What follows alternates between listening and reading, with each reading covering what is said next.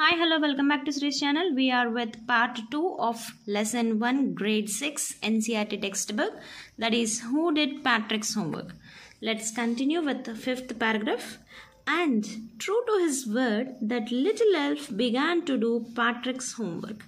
Except there was one glitch. The elf didn't always know what to do and he needed help. Help me, help me, he would say. And Patrick would have to help in whatever way.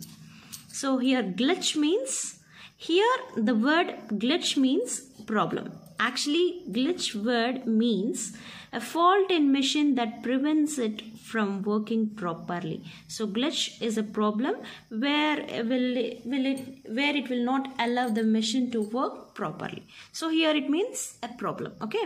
So what what happened?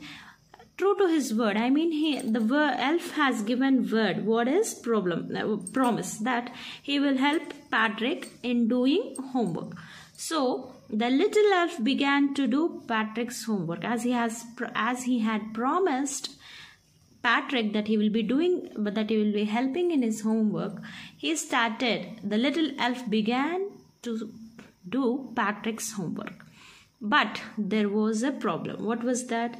The elf did, did not always know what to do. He doesn't know what to do.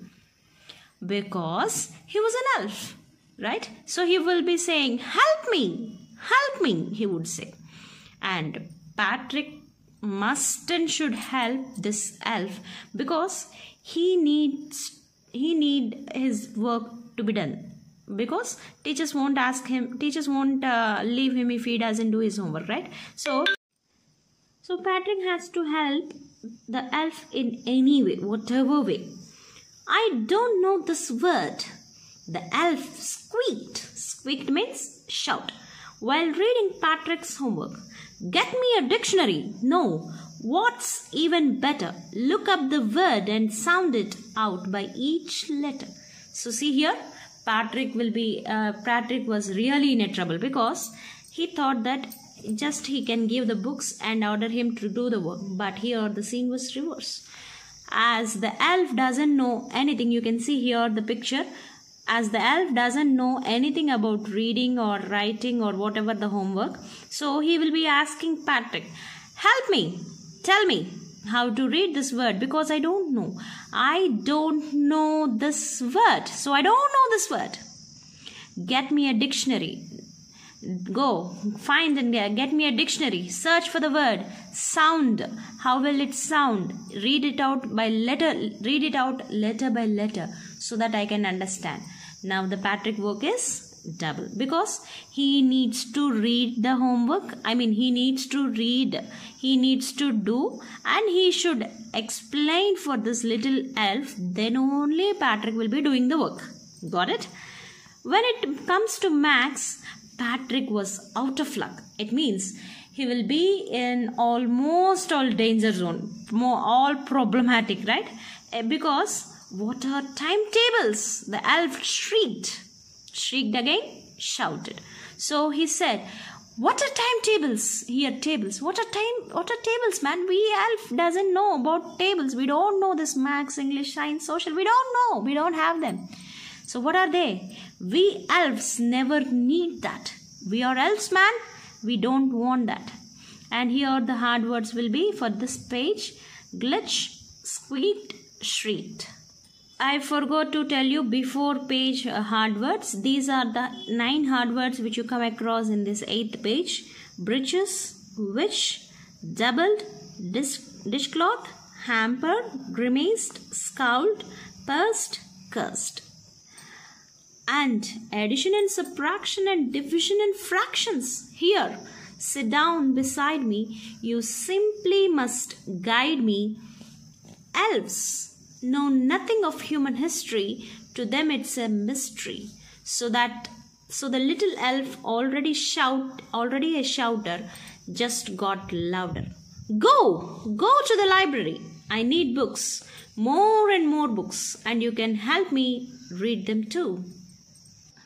So what happened?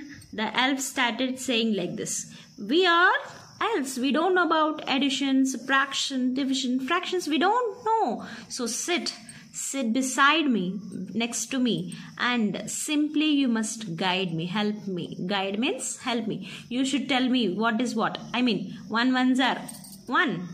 If suppose uh, the addition is like uh, 12 plus 13 what is 12 he has to tell what is 13 he has to tell how the addition will be he has to tell what will be the answer also patrick should tell please tell me now one answer. Instead of telling to elf he can do uh, by himself. Yes?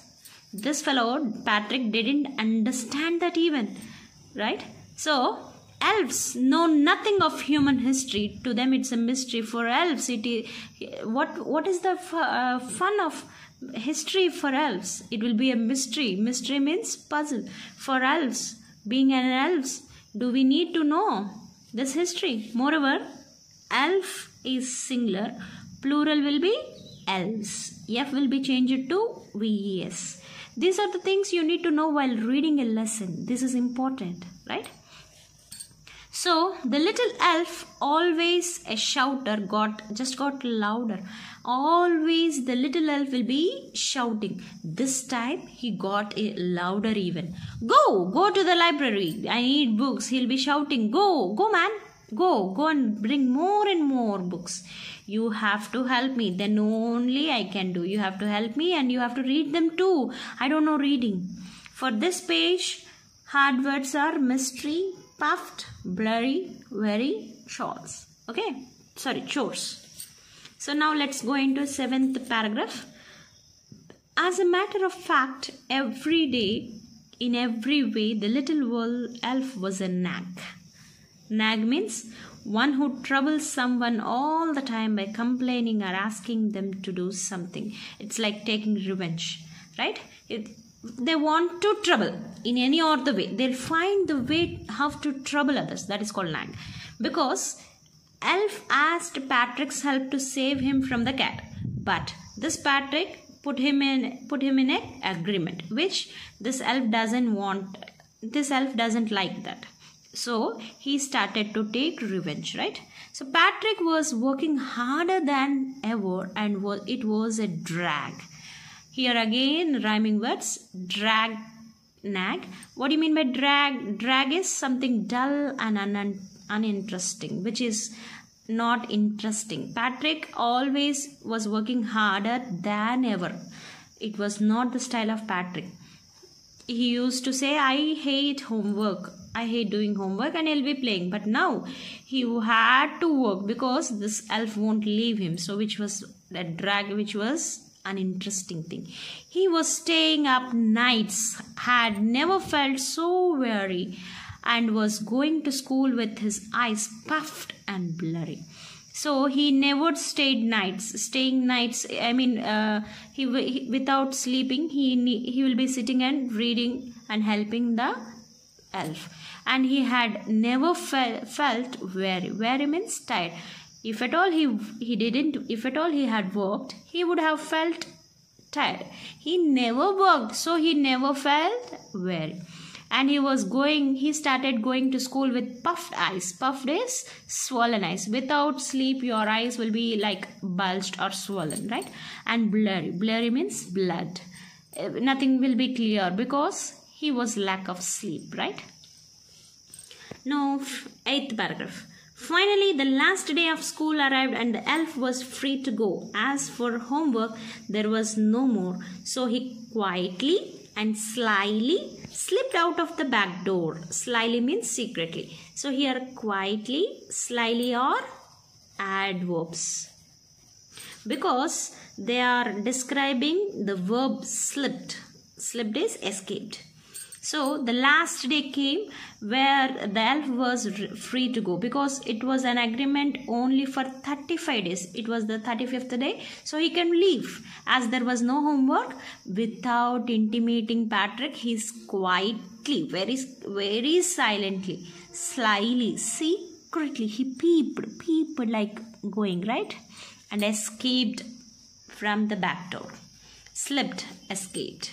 So any word which talks about verb will be adverb and mostly adverb will be ending with ly now the last paragraph sorry last before paragraph Patrick got his A's. His classmates were amazed. Amazed means surprised. And his teachers smiled and were full of pride. And his parents, they wondered what happened to Patrick.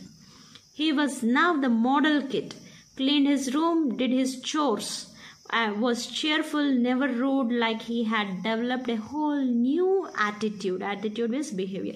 So completely got Patrick got changed. Patrick got A's. Usually he used to get zeros because he never did work. Now he got A's and his classmates were surprised. Is this our Patrick? You usually will be getting zeros, but now he stood class first. Oh my god, what happened to him? And his teachers smiled, were full of pride. Teachers will always smile when they when their students get good ranks, right? They feel pride. So they felt happy. And coming to parents, parents wondered, is this our child? What happened? What happened to our child? Now he started reading.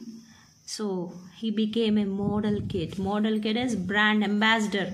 So everything, whenever uh, when we achieve anything, we will become a model for others, right?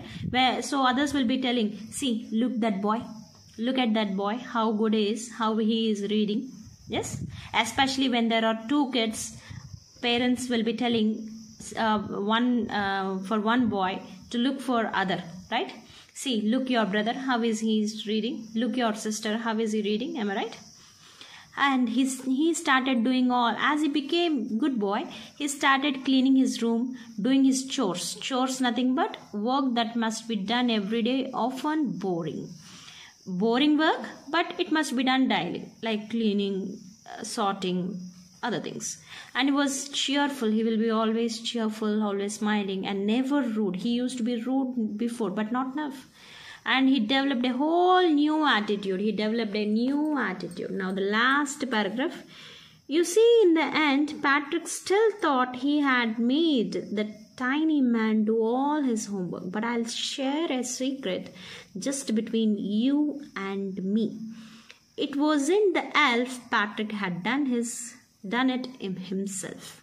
So until even the end of the even in the even in the end patrick will be still thinking that it was the tiny man who had done his homework. But is that true? Did the tiny man do the work? No patrick did it himself. He doesn't know it. He didn't know it. But i will share a secret. Who is this i Carol Moore, who is your author, right? So between you and me, why had used between two persons, if it is between two, only two, when we are talking about two, we have to use between. More than two, among. It wasn't the elf Patrick did had done it himself. So it was not the elf who did the homework, it was Patrick. Thank you. I'll be providing you the notes in the next video. Thank you.